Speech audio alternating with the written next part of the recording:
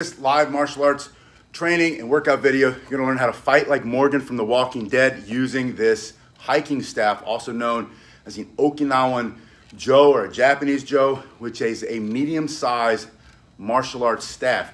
This one is 54 inches. It's made out of hickory. It's almost unbreakable. You can see what it looks like in the link below. That's the first link. But take a look at this. If you don't have one, think about getting one. It's a simple self-defense tool. You can train with any walking staff, either this Japanese Jo or the longer uh, Okinawan bo or Japanese bo, or even the shorter Hanbo, the walking stick size. Once you learn how to do that, you can carry that device and simply create distance, thrusting into the, uh, the attacker, striking at these angles, coming down, coming straight across. You can push in using this hard piece of hickory, this hard piece of uh, wood to smash the nose, teeth, throat, eyes. It's very effective.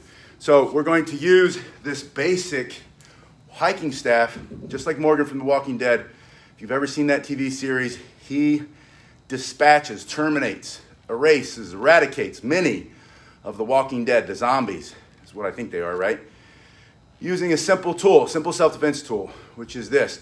Now you're gonna do this warm up. This is to get blood to flow into your wrist, your forearm, your shoulder, your elbow.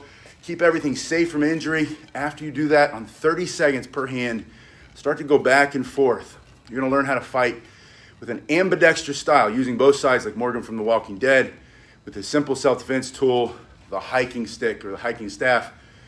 So you wanna get good at going from one hand to the other one. This also you can see it's pulling my wrist around more, increasing flexibility. Now, if you like working with the martial arts staff for self-defense, or a walking stick or hiking staff, give me a thumbs up. If you like Morgan from The Walking Dead, thumbs up. If it's not your cup of tea, thanks for coming anyway. Give me a thumbs up or thumbs down. Good morning, Matthew. Good morning to everybody who's here. Now that you've warmed up, I want you to get right into the basic strikes so you can practice how to fight like Morgan from The Walking Dead with this simple self-defense tool Thanks for that thumbs up. The walking stick or the hiking staff, you're going to point your thumb at the threat. By turning your hand this way, that snaps it up into the back hand. So it's between me and the threat. We're going to call that water bag a zombie, the threat, right? I'm Morgan from Walking Dead. You're Morgan. We turn it up into the back hand, and then I'm just going to push through first. That's your first attack. I want you to get this pull cue type sliding motion through your hands. Hello, Naj. Good to see you. Naj, if you're down in Miami, the weather's changing a little bit, right? It's beautiful. From here, I'm in uh, uh, West Palm, just a little bit north of Naj. It's beautiful right now. But sliding through the hand, that's a basic thrusting motion.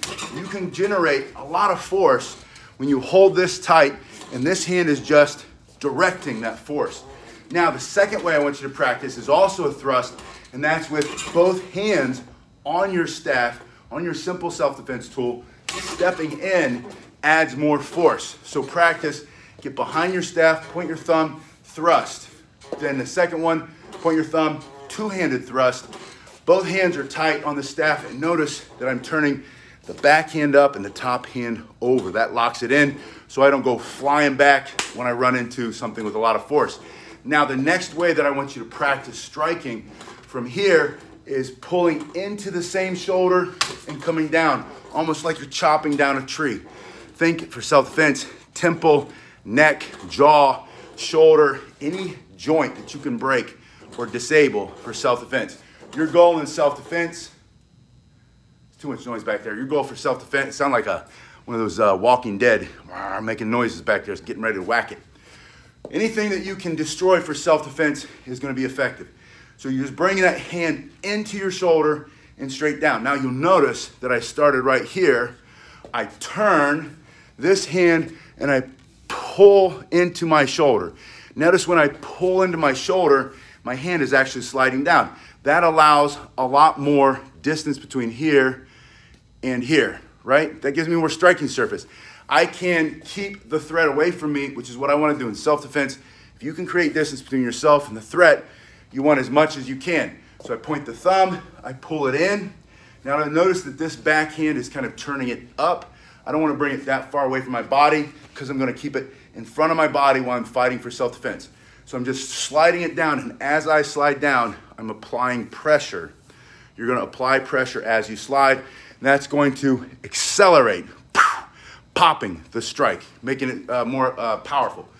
Naj said it's beautiful in the morning where he is, and we get rain in the afternoon. That's true. Beautiful rain cools it off even more. It's beautiful right now. Everything's lush and green, but it always is in sunny South Florida.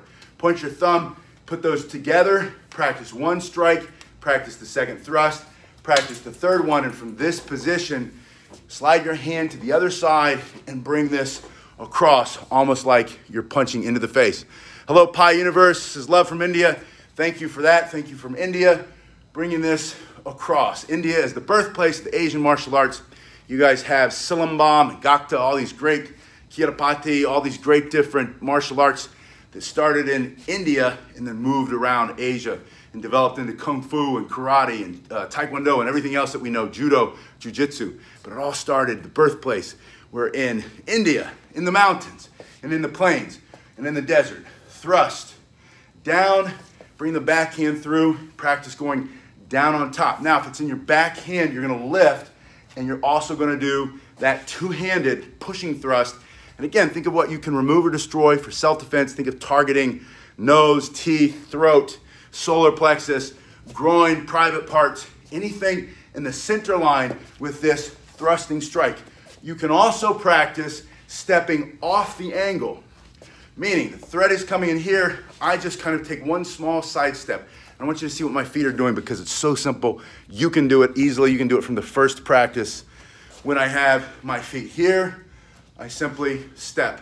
And yes, you can see I'm wearing shiny, soft bottomed dress shoes with my workout pants.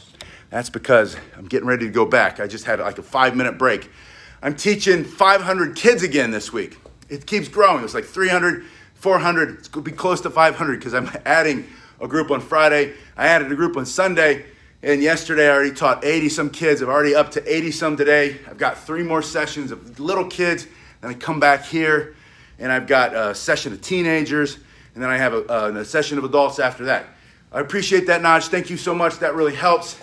I had to fix the air conditioning yesterday. Naj, I'm one, one block from the ocean. The salt water eats everything. I had to fix one little piece on the air conditioner. It was 500 bucks. So Naj, I really appreciate that. I appreciate all of you being here and helping out. From here, I left, step to the side, let them go running by, but before they do, jab them with it for self-defense. From here, you can bring this around and down. That's a new strike we haven't done yet. I do this all the time in class, but it's often after that side step. So from here, side step with that thrust, bring this hand around almost like you're churning butter, and you're going to smash. See how powerful that is? This hand comes up to that shoulder and I'm simply pushing down and turning my shoulder at the same time. You can practice that from here.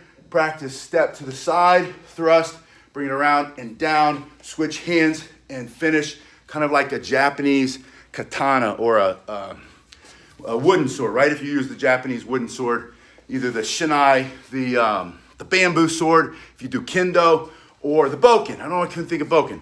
Bokken, if you practice more like Iaido or you practice Aikido, this is an Aikido weapon, the Jo. Jo and Bokken often go together.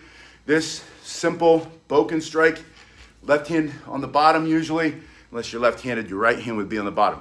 One more time, in the back hand, step through, thrust, bring it around, smash, bring it over the top, come down at the angle, or straight down if you want.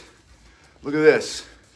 You can practice sliding your hands as they go by never losing contact with your weapon, right? Practice here, getting this position strike, this position strike. That's a great way. It's a fun way to break up the monotony of doing the same thing over and over again. Practice your strikes, but then practice the way you change your hand position over and over again. Get really smooth, get fast with that. I want to show you one more, and then I got a jet. I'm cutting it close. I got to get back before 110. The very first time I did that, I made the video. That we worked out together, you and I did. And then I raced back and I got stopped by the police officer who said, Where are you going to in such a hurry? I said, That school right there. I have a class in two minutes. And he shook his head and he walked back, started right, came back up and he said, Don't do it again. Go teach the kids. I said, I really appreciate it. Thank you so much. Here's the key. Don't ever argue. Don't say, I can't believe you stopped me. I wasn't speeding.